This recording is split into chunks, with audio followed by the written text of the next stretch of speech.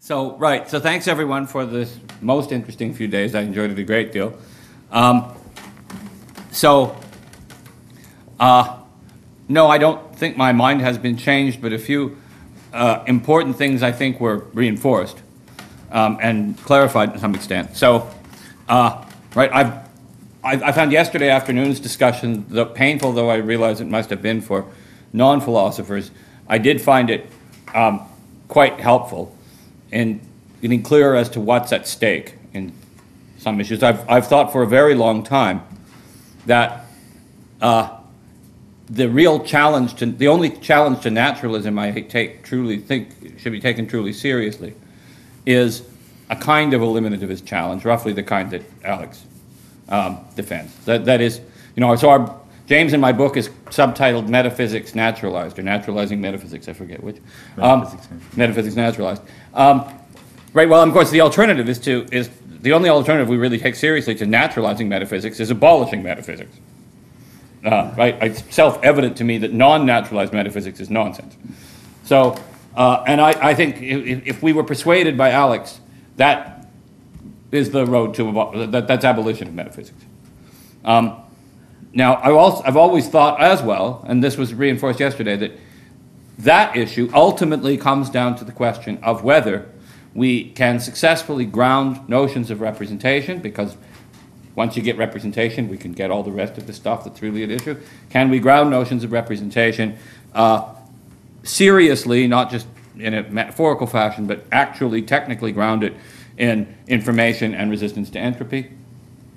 Um, so I happily came out of yesterday's conversation thinking, right, there's a kind of general agreement that that is, that's the project that has to be carried out. And ultimately, I think that's what determines whether we should have, whether we shall have naturalized metaphysics or no metaphysics. Um, uh, I'm going to join the general consensus that we've heard around the table, and I, I'm al- I was also persuaded that, yeah, free will just looks like it's got too, as a phrase, looks like it has too many barnacles on it.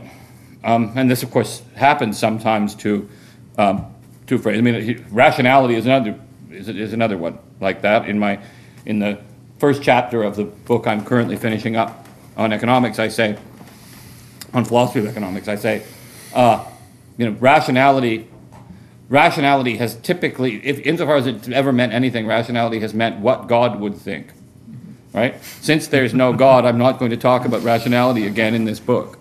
Um, right?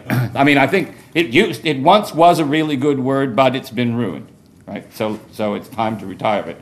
I'm, I'm inclined to think that about free will, and not, I'm, you know, again, uh, my sympathies on the sub- substantive issues are entirely with Dan's view. Um, I'm a compatibilist in that sense, but I think we should, we should, we, we will, we will probably never succeed in, uh, in persuading people to understand that compatibilist position if we insist on using the phrase free will. So, okay, let's retire it. Um, I, I, I would have enjoyed a little more, dis- if, if in terms of things we could, that I would have liked to have seen us talk a little bit more about, I would have enjoyed more discussion about interpretations of quantum mechanics. Um, um, you know, it would have been nice if that was actually a, a topic. Um, it came up parenthetically now and again, but we really didn't, didn't have a go at it. Uh, James and I have written, have recently written a paper which is coming out in the book we're editing from Oxford UP in a, next month, uh, in which we defend the original Copenhagen interpretation, not the later Copenhagen interpretation, right? Not the Copenhagen. So, right. right, the, the Copenhagen interpretation. Now you that, tell me. The Copenhagen interpretation that, according to philosophers, isn't an interpretation. Yeah. Right. In that one, okay. original, original Bohr, original Bohr. So we could have had an interesting Well, go about that. yeah, we'll have lunch, okay. All right, I'll stop there. Thanks, th- Okay. thanks everybody for, for so many interesting remarks that everyone made.